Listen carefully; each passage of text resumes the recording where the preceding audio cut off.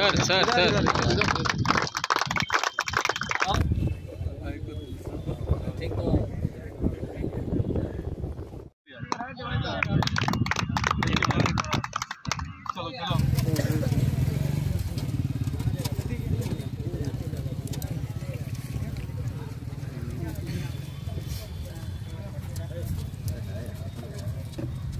Google, ah.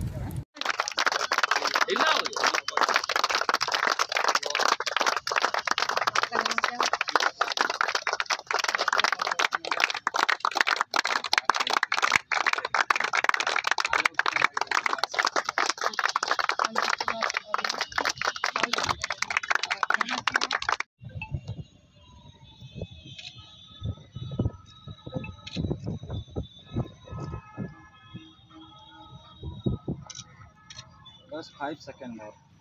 Roller दिया गया है अभिमन्यु क्रिकेट क्लब को। कि इनके को फाउंडर फाउंडर और जो हमारे अध्यक्ष सचिव सब उपस्थित हैं यहाँ पे। तो उन, उन हमारे सौजन्य से कार्य करने का मेन उद्देश्य यही है कि जो बच्चे हैं क्रिकेट खेल रहे हैं लेकिन कुछ संसाधन की कमी के कारण उनको कुछ बुनियादी संसाधन की कमी के कारण उनकी उनमें उनके खेल में परिवर्तन नहीं आ पाता है या फिर बहुत ज़्यादा अच्छे अच्छा नहीं कर पाते हैं।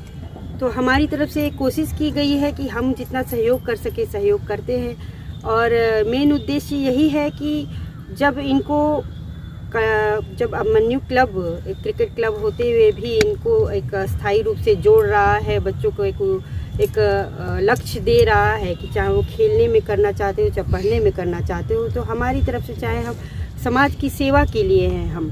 तो समाज की सेवा किसी रूप में भी की जा सके। तो ये बच्चों की एक सेवा ही है कि हम उनको पिच तैयार करने के लिए उनको अच्छे से क्रिकेट खेलने के लिए रोलर दे रहे हैं। जितने भी पेरेंट्स हैं उनके बीच में ये धारणा खत्म हो चुकी है कि पढ़ोगे लिखोगे बनोगे नवाब और खेलो कूदोगे बनोगे खराब। तो इसका बहुत बड़ा उदाहरण ये दिख रहा है कि आज अच्छे से अच्छे क्लब प्राइवेट क्लब भी बन रहे हैं और उसके बाद सरकार की तरफ़ से बहुत पहल की जा रही है खेल क्षेत्र में।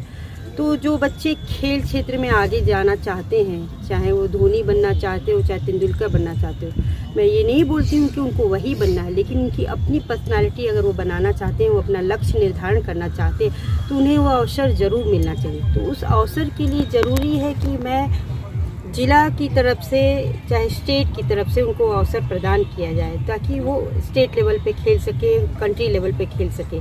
तो इसी अवसर में एक योगदान है ये, और वो अवसर इसी तरीके से मिल सकता है बच्चों को कि किसी संस्था के द्वारा मिल सकता है, सरकार के द्वारा मिल सकता है। तो मेरा, मैं इन सभी बच्चों के उज्जवल भविष्य की कामना करती हूँ जो इनका लक्ष्य है उन्हें ज़रूर मिले।